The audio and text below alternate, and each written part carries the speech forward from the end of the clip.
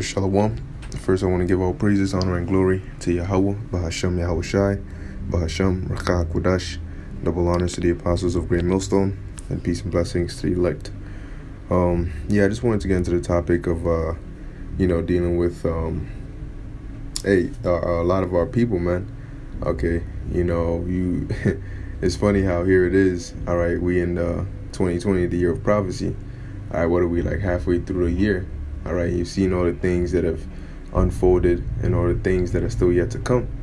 And, you know, as of right now, you know, you still have our people at ease. You know, and the problem is a lot of our people don't want to think about, all right, the the tribulation and the calamities to come. Okay, they don't want they don't want to, you know, uh, uh, you know, it's it's it's it's too scary for their mind, you know, so they don't want to accept reality. They want to hide away from it as, as much as much as possible. Okay. But the thing about it is you you when it comes to, you know, all hell breaking loose and, you know, the times that we're about to come into, you have to be proactive. All right? You can't be waiting to be reactive, all right, to see, oh, okay, all right, is it true or not? And then now I'm to try to repent or now I'm to try to seek the way out. No, it's to be too late by then. Okay? Right now is the time when the Lord is still having those doors of mercy open. Right now is the time when the Lord is still accepting people, all right, to repent and and you know change their ways. And now is the time, you know, you got Jake that don't want to hear it. You know, they don't want to hear about the prophecies. They don't want to hear about the hell that's coming. They don't want to hear about the chip. You know, in their mind is just, I just want this Corona thing to get over with so I can go back to my normal life. If my school tells me to get this or do this, I'm gonna do it you know, because I wanna I wanna live my normal life. All right, and that's gonna be the downfall of a lot of people, man. That's what's gonna lead to the the calamities that are gonna befall a lot of these people. All right, because once you take that chip and you make that pledge, all right, with Esau Edom, okay, the Most High ain't gonna have any hedge of protection over you. Okay, in the time of famine, you will not be redeemed. You will not be saved. All right, in the time of famine, and you can't escape the time of famine with a chip. Okay? The Lord can still have you die in all the hell that's coming. Okay? So if you think that you're gonna make it out because by not accepting reality and trying to hide from it and you know just trying to live in your in your make believe world, that's that's not gonna do you any good. Okay? So this is Ezekiel chapter 12, verse 25. Um it says, For I am the Lord, Yahweh, Bahashem Yahushai, I will speak and the word that I shall speak shall come to pass. It shall be no more prolonged. For in your days, O rebellious house, will I say the word and will perform it, saith the Lord, Lord God. All right. And this is the time in which those prophecies, the judgments the Lord has pronounced against this place and against our people and against these other nations is going to take place. All right. The Lord said his word is no more going to be prolonged. So it's not gonna be, oh, I've heard that before, or you know, when it happens, it happens out. You know, that's that's the thing. That's like when people say, "I'll deal with it when it happens. I'll deal with it in the moment." No, you won't. The scripture said, "All hands shall be faint." Okay, in the moment, you're not gonna be able to stop and think to say, "Okay, now I want to make a decision under pressure." Okay, when they have when they're threatening you or you're in a very uncomfortable position you will break under the pressure if you don't have the spirit of Yahweh Shemel Shai with you, which is why you have to build that up now. You have to you have to make your your stance now and stand by it and build upon it. So when that time comes, it's not a it's not a you're not in the middle. You're not on shaky ground. All right, you're standing firm. You don't. You're not taking a chip, and you're standing firm. You've built your spirit. You've built your mind. You've built everything around that mindset. Okay, you've strengthened your mind all right, to not take the chip, to stay faithful to Yahweh Bashim Shai. It's not just about a decision you make, it's about sticking to it. Okay?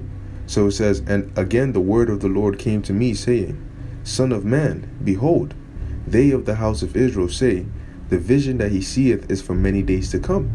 So what you're talking about, that's not here right now. I'll deal with it when it happens. No, that's that's later down the line. And that's the thing. Jake don't look ahead. All right, our people don't consider. They don't consider. So what's gonna happen when this vaccine comes out? Can I really trust? All right, this government or the pharmaceutical company who have a history of killing people for money. can I really trust them to give me something that's good for me? And even if the vaccine has nothing in it, I'd rather take my chances of not having the vaccine than taking the vaccine because I don't trust them. Okay? The fact that they're trying to make it mandatory and they're trying to push it upon the people, why is that? You know? It says, It's for many days to come, and he prophesied of the times that are far off. So what you're saying is not right here and now in front of me, even though the signs are there. What you're saying is not right here and now in front of me, so it's okay. It's fine, it's whatever. I don't want to think about that right now. But soon you'll be forced to think about it. You'll be forced to live it. And there's gonna be no going back. There's gonna be at that point when you need you need you, you know because look when we when we do these videos and we we exhort our people and we talk to you okay it's to build you up it's to strengthen your reasoning for not taking the chip or not you know for staying faithful to Yahweh Bashim Yahushai you see it's not just okay I decided not to but why what's your anchor that is gonna p- keep you stable in those days that's why we do these videos and bring out these precepts and explain and comfort and build up brothers and sisters and those that are watching. Okay? So you not only have a re- you know you don't only say okay I'm not going to take the chip but you have a reason not to. All right? Your mind has been fortified. Okay? But if you're thinking it's a far off, so I deal with it when I get there, then you're letting your guard down. You're thinking you have enough time to react. Lord, the scriptures say in First Thessalonians, the fifth chapter, the third verse, that it's going to come like sudden destruction. You're not going to see it coming. You're not going to have enough time to react for Jacob's trouble. When they come in like a flood, the Lord is going to lift up a standard for those that had already made up their mind to stand for the Lord. The scriptures say the Lord said, What? I have 7,000 that have not bowed the knee to Baal. Okay, so the Lord already has his, his people who have set it in their minds to stay faithful even if it has to be until death. Those are the ones he's going to protect, not somebody who's borderline, unpredictable, doesn't know what they want to do. That's not who the Lord is dealing with. He said, Look, you're either with me or you're against me. He that is not with me is against me. All right? And people don't understand. They, they want they want a million and one reasons why they shouldn't take the chip. It's simple. The, the, the primary reason you shouldn't take it is because the Most High said don't take it. Why is that so hard? Verse 28 Therefore say unto them, Thus saith the Lord God. And the sad part is, the second you you say this part, well, don't take it. You tell them what the chip is and all that. Okay, well, how you know that's coming? Like, why shouldn't we take it? Oh, because the Lord said it's coming and He said don't take it. The, the sad part is the second you mention the Lord, they completely like the credibility and the the value at which they used to hold it decreases for the majority of our people. The second you bring the Lord into the picture, is like what you just said went from 80% to like 50%. You know? It says, There shall none of my words be prolonged any more, but the word which I have spoken shall be done, saith the Lord God. You know, to a lot of our people, we're just broken records. You know, we're just we're just oh yeah, he's back saying the same thing again. Oh yep, there he is. You know, he's been saying it for God knows how long. But guess what? Ezekiel 33 and 33. It says, man, this is nice. Um, Ezekiel 33 and uh, 30. Okay. It says, Also thou son of man, the children of thy people are still still are talking against thee behind the walls and in the doors of the houses, and speak one to another, every one to his brethren, saying, Come, I pray you, and hear what is the word that cometh from forth from the Lord. You know, and you have a lot of our people that, you know, like we keep saying, they think is a joke. This is a matter of life and death. This is your life that we're trying to warn you about. Okay? This is going to affect the whole world. All right? and you think it's a joke, oh yeah, oh this, this, that, and the third, and you got time and all this. When it comes, you will not have the Lord will be justified in not showing mercy to people. Okay? Because when the time look, it's simple. Repent now, get the mercy. You don't want to repent now, no mercy. So because of your actions, if you don't get mercy, that's on you. It's not difficult, that's on you. All right? Verse 31 And they come unto thee as the people cometh, and they sit before thee as my people, and they hear thy words, but they will not do them. For with their mouth they show much love, but their heart goeth after their covetousness. At the end of the day, it's what they want to do.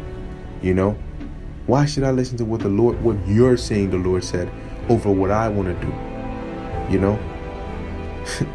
hey man, hey, that's why Jacob's trouble has to happen, man.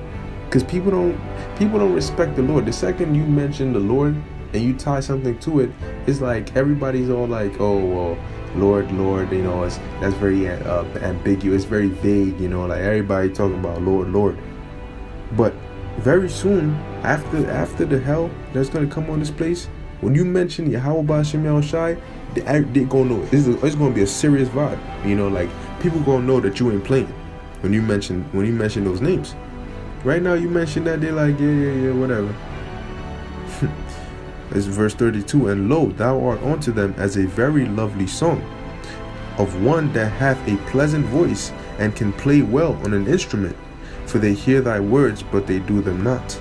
So some some they'll listen. But when it comes down to it, man, they weren't listening to build themselves up. They weren't listening, all right, to actually let it resonate and meditate upon it. They were just listening just to listen. And when the time comes, we guarantee you got on T. All right, when that time comes, man, a lot of people are gonna wish they spent more time actually listening to the words we were speaking. They're gonna wish they spent more time actually preparing themselves. They're gonna they're gonna say, look, man, I didn't know it was gonna be this bad. This is what you were talking about the whole time. You know, damn. And you would think that this whole coronavirus phase one, all right, would have been an eye opener for people, man. But things started to look like they're going okay. Oh, New York is entering reopening phase uh, number two. Amidst these coronavirus numbers spiking up, highest daily number records, but yet you're still reopening. Interesting. Verse 33 And when this cometh to pass, lo, it will come then shall they know that a prophet hath been among them. That's when they're gonna wanna, oh shoot, yo, what he was saying was right. Yo, we gotta find him. Yo, we gotta. But guess what? When that time comes, we're gonna be prepared. Why? Isaiah chapter 33, verse 6. And wisdom and knowledge shall be the stability of thy times. And right now, what have we been doing? We've been taking our time to build up our wisdom and build up our knowledge so we can be stable. Okay? These people have not been doing that. All right? And strength of salvation, the fear of the Lord is his treasure. So when that time comes, man, hey, Lord willing, we of that elect, man, the Lord got us. He got us. Because when all when everybody else was doing what they wanted to do, we sacrificed. When everybody else was was was being idolaters, we repented. When everybody else wanted to do what they wanted to do, we were faithful and obedient to Yahweh Shemel Shai to the best of our ability. We're not perfect, but we kept on trying. And we keep on trying. And we're going to keep trying until we make it to the end. And the Lord will, He will protect us, man. He will provide for us. Okay? And when the tables turn, everybody's going to want to sit at our table. Now everybody's going to want to listen to what we got to say. No, we, we don't want to talk now. When that time comes, we're not going to want to talk. We don't want to sit down and break down scriptures to you. We don't want to explain anything to you. Now it's time for you to see what we've been talking about and go deal with it. The same plan you had before, the same way you said you are going to deal with it when it comes, well, it's here. Deal with it. You know? And it's not because we're mean or that's messed up. And no, it's not. It's not messed up. Because when we told you and you didn't listen, why should you go mess up even after we warned you and then we should hazard our lives to try and clean up after your mess? No, that's not how it works. Okay? You don't get it, you don't get it. So you pay for it, man. All right? But that's the times we're coming into, man. All right? So, hey, look, we're going to do our job. Because whether you listen or not, our job still needs to be done. And that's to push this word out. And once the Lord brings that famine of the word and he closes those doors of mercy, you're going to see hell on earth like you've never seen before, pursuant to Daniel the 12th chapter and Jeremiah 30, the 7th, the 30th chapter, the 7th uh, verse. All right, hell is about to be unleashed upon this earth, man, and people are not ready. People are not ready. You let you've let your guard down at the wrong, wrong time. All right, but anyway, I'm not going to drag it.